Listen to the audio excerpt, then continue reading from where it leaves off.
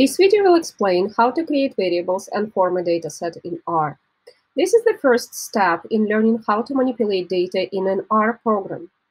And before doing so, you must have some data to work with. So in this video, we will work with a small fake dataset based on everyday information of your own creation.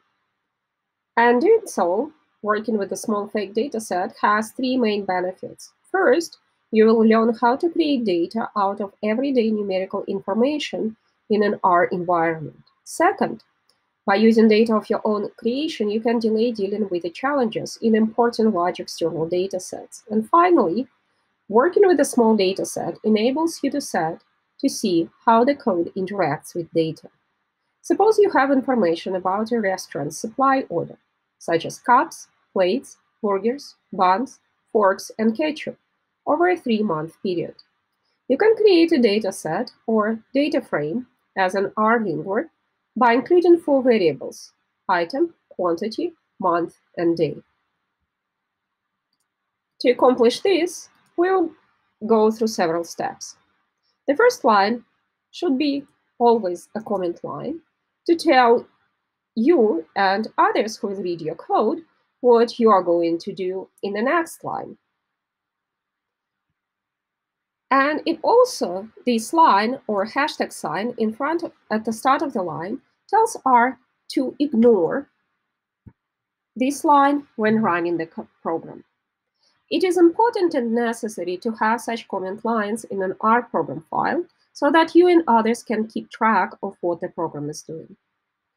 The next few lines of code will create four variables, each using C function as in many other R videos in this series. So the item variable indicates the types of items ordered. It contains characters or strings. So each element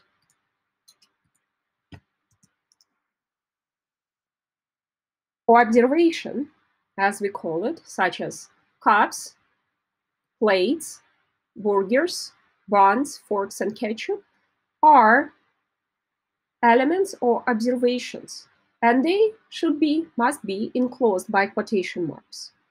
The other three variables, quantity, month, and day,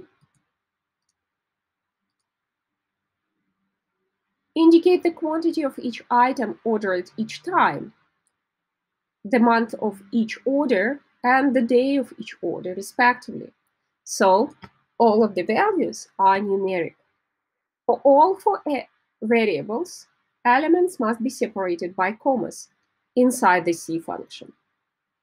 The sixth line of code is also a comment line, explaining that the next line of code creates data set. The seventh line of code creates a data set called orders. So the word orders go first, then assignment symbol, and then the data frame function, which collects the four variables that we have just created, item, quantity, month, and day, to form a data set of rows and columns. Rows are observations and columns are variables. The output of the data set of the data frame function is then will be assigned to the dataset orders that will appear on the global environment in your RStudio. So now you can display the, now we can run this code to create the dataset. And to run this code, we highlight all the code lines and then go to code and run selected lines.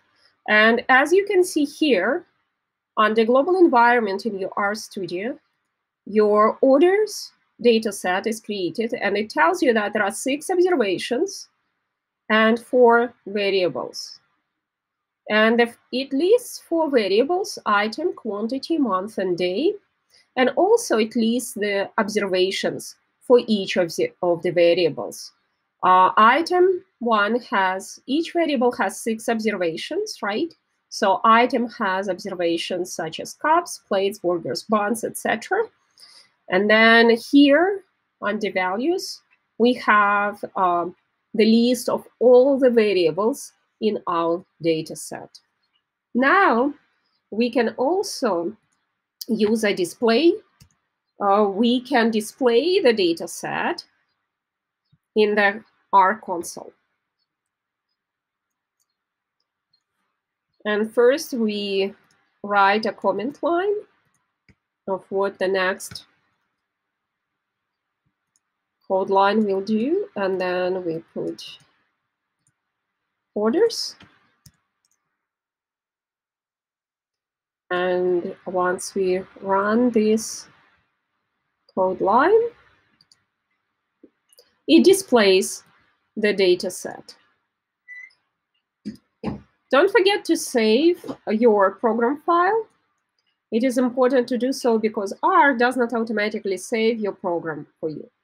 Also, saving practice programs, such as the one above, is a great practice for you later on, since you can use these program files as templates for your own future program creation and data analysis. So in this video, you learn how to create variables and form a data set in R.